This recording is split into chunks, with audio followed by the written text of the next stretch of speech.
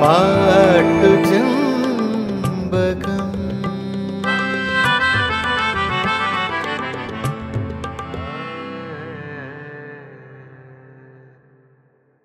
അപ്പോൾ പാട്ടുകളുടെ കമ്പോസിങ് കഴിഞ്ഞു. ഇനി റെക്കോർഡിംഗ് ആണ്. അപ്പോൾ മ്യൂസിക് ഡയറക്ടർ ത്രില്ലടിച്ച് നിൽക്കുകയാണ്. കാരണം എയ്റ്റ് ട്രാക്ക് സ്റ്റീരിയോയിലാണ് ഈ പാട്ട് റെക്കോർഡ് ചെയ്യാൻ പോകുന്നത്. മലയാളത്തിൽ അതന്നൊരു പതിവല്ല. ആദ്യമായിട്ടാണ് എയ്റ്റ് ട്രാക്ക് സ്റ്റീരിയോയിൽ ഒരു സിനിമാ പാട്ട് റെക്കോർഡ് ചെയ്യാൻ പോകുന്നത്. മാത്രമല്ല വളരെ വിലപിടിച്ച ഒന്നര ലക്ഷം രൂപയുള്ള ഒരു ജർമ്മൻ മൈക്ക് ആണ് ഈ റെക്കോർഡിങ്ങിന് ഉപയോഗിക്കുന്നത്. അപ്പോൾ സ്വാഭാവികമായിട്ടും മ്യൂസിക് ഡയറക്ടർ അദ്ദേഹം അത്ര വലിയ എക്സ്പീരിയൻസ്ഡ് മ്യൂസിക് ഡയറക്ടർ അല്ല താരതമ്യേന പുതിയൊരാളാണ് അപ്പോൾ അദ്ദേഹം ത്രില്ഡ് ആവുന്നതിൽ അത്ഭുതമൊന്നുമില്ല. അപ്പോൾ ഈ പാട്ട് എങ്ങനെ പൊലിപ്പിച്ചെടുക്കുക എന്നാണ് അദ്ദേഹത്തിന്റെ ഒരു മനസ്സിലുള്ള ഒരു ചിന്ത.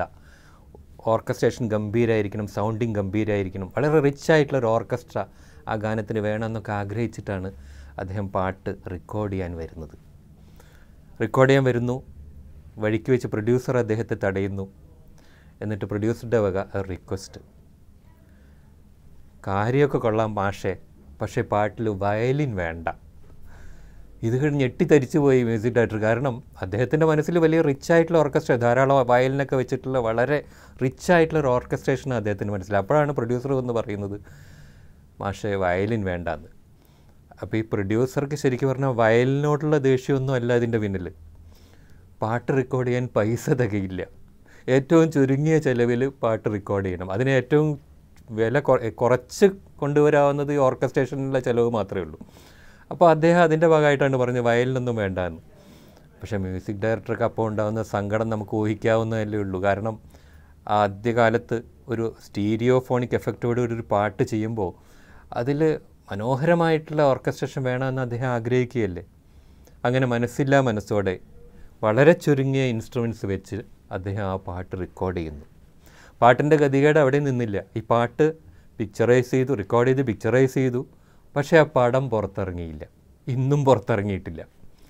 ഇതൊക്കെയാണെങ്കിലും ഇത്രയും വർഷങ്ങൾ ഒരുപക്ഷെ പതിറ്റാണ്ടുകൾ പോലും കഴിഞ്ഞ ശേഷവും ആ പാട്ട് ഇപ്പോഴും ജീവിക്കുന്നു എന്നുള്ളതാണ് സത്യം.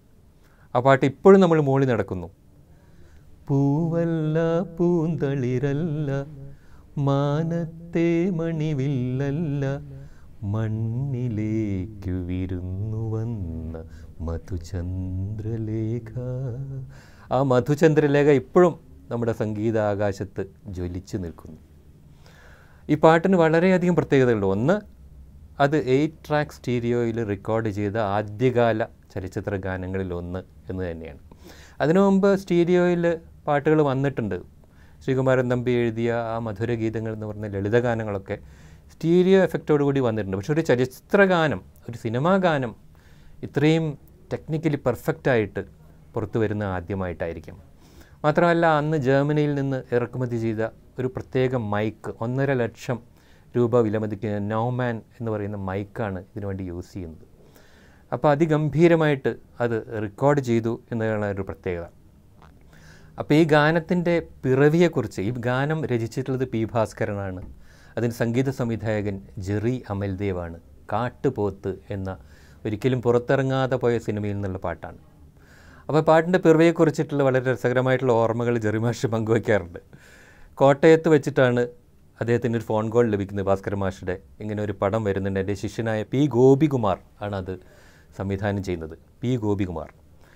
അപ്പോൾ ആ പടത്തിൽ പാട്ടുകൾ താങ്കൾ മ്യൂസിക് ചെയ്യണമെന്നൊരാഗ്രഹമുണ്ട്. ഇപ്പം ഞാൻ കോട്ടയത്തുണ്ട് ഇവിടെ വരിക എന്ന് ഭാസ്കര മാഷ് വിളിച്ച് പറയുന്നത് അന്ന് ഭാസ്കര മാഷ് ദീപിക വാരികയുടെ എഡിറ്ററാണ്. അപ്പോൾ കോട്ടയത്ത് മാഷ വീട്ടിൽ മാഷ കാണാൻ രാവിലെ ജെറി മാസ്റ്റർ എത്തുന്നു. അപ്പോൾ ജെറി മാഷ ആ ആദ്യ കാഴ്ച അദ്ദേഹം വിശദീകരിച്ചിട്ടുണ്ട്. മാഷ് ഭാസ്കര മാഷ് ഒരു തോർത്തൊക്കെ എടുത്ത് കുളിക്കാനുള്ള ഒരുക്കത്തിലാണ്. രാവിലെയാണല്ലോ.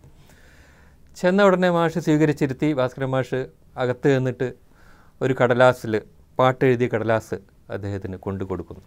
അപ്പോൾ കടലാസ് വായിച്ചു നോക്കിയപ്പോൾ രസമാണ്. ആദ്യം അമ്മേ നാരായണ എന്ന് എഴുതി അതിന്റെ ഒരു അടിയിലൊരു വരയിട്ടിട്ടുണ്ട് എന്നിട്ട് അദ്ദേഹം പാട്ട് എഴുതിയിരിക്കുകയാണ്. പൂവല്ല പൂന്തളിരല്ല മാനത്തെ മണിവില്ലല്ല എന്ന് പറയുന്ന ആ പല്ലവി തുടങ്ങിയിട്ട് പാട്ട് മുഴുവൻ എഴുതിയിട്ടുണ്ട്. അപ്പോൾ അത് ജെറി മാഷ്ക്ക് കൊടുത്തിട്ട് ഭാസ്കര മാഷ് കുളിക്കാൻ പോകുന്നു. വായിച്ചു നോക്കാൻ പറഞ്ഞു. അപ്പോൾ ഈ കടലാസ് വായിച്ചു നോക്കിയപ്പോൾ അദ്ദേഹത്തിന് വലിയ സന്തോഷമായി ജെറി മാഷ് കാരണം ഈ ആദ്യത്തെ രണ്ട് വരിയിൽ തന്നെ നാല് ല എന്ന അക്ഷരമുണ്ട്. ല.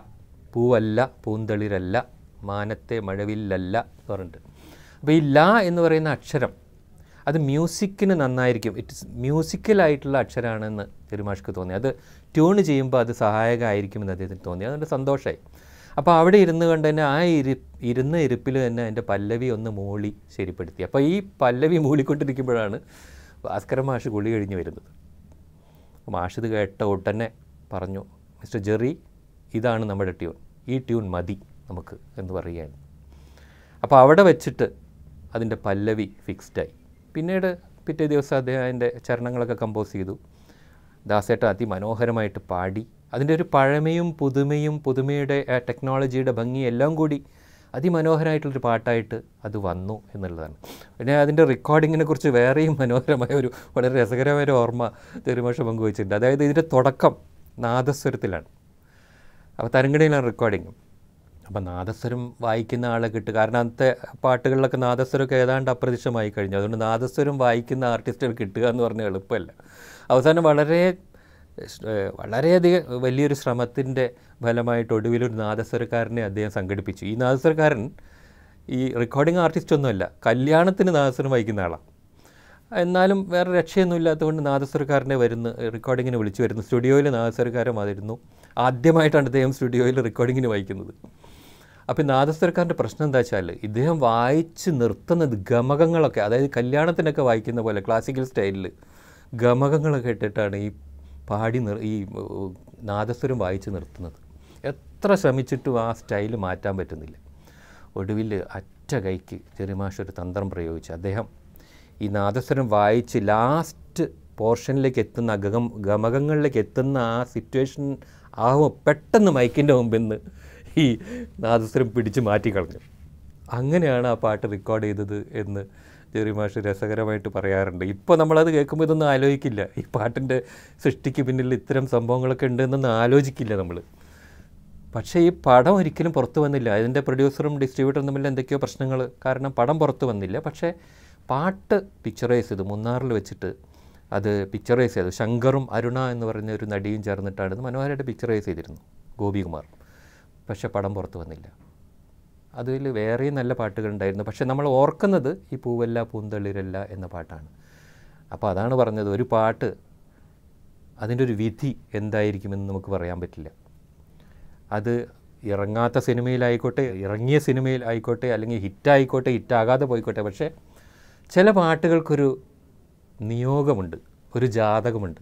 ഈ പാട്ടിന്റെ ജാതകം എന്ന് പറയുന്നത് കാലത്തിനപ്പുറത്തേക്ക് വളരാൻ വേണ്ടിയുള്ള ജാതകമായിരുന്നു. അതുകൊണ്ട് ആ പാട്ട് ഇന്നും നമ്മളെ വിസ്മയിപ്പിച്ചുകൊണ്ടേയിരിക്കുന്നു. പാട്ടു ചെമ്പകം